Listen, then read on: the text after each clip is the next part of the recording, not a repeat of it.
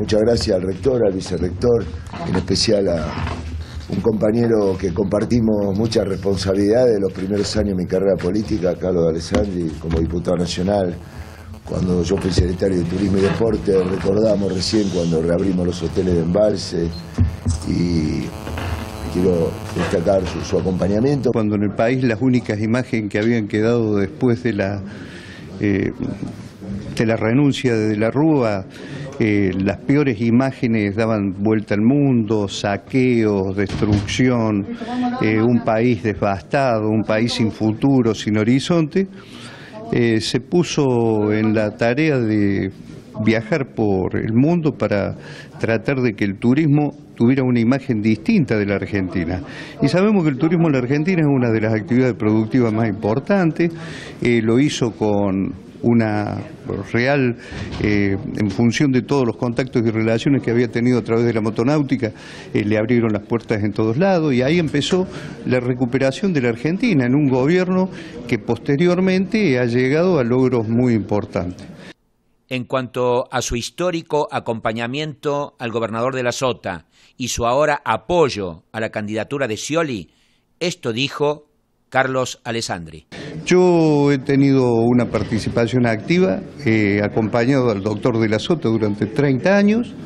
Eh, al ver interrumpido su sueño presidencial en la elección del 9 de agosto, eh, analicé y pensé de que Scioli era el candidato de los tres que quedaban o cuatro en camino, con más posibilidades y más chances a partir de la relación que yo había tenido de trabajo con él. Por eso estoy acá. Eh, bueno, no es novedad para vos que muchos de los intendentes, por lo menos de tu departamento y de otros sectores de la provincia, van a tomar en cuenta esta decisión. ¿Qué dicen los intendentes cuando hablan con vos? Bueno, muchos intendentes tienen la misma posición que tengo yo.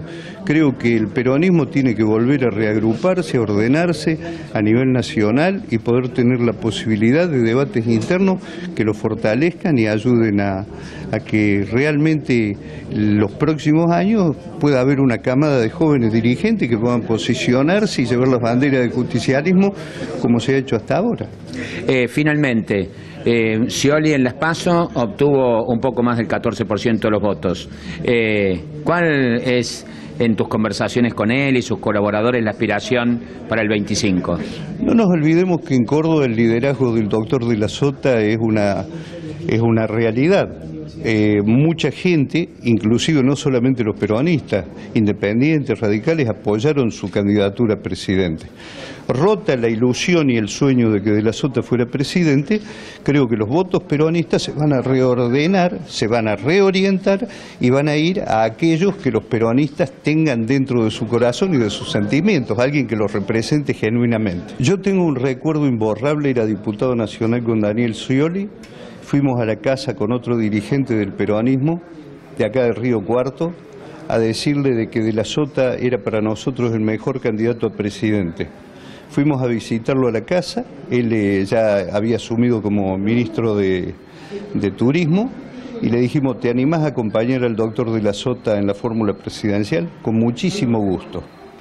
Y creo que ese gesto habla de lo que es Daniel Scioli y del reconocimiento permanente que uno va a tener. Scioli esperó hasta último momento que de la Sota renunciara en aquel momento a su aspiración presidencial para este, recién ahí aceptar eh, lo que le proponía Kirchner, que lo acompañara en la fórmula presidencial. Un gran recuerdo y un gran reconocimiento.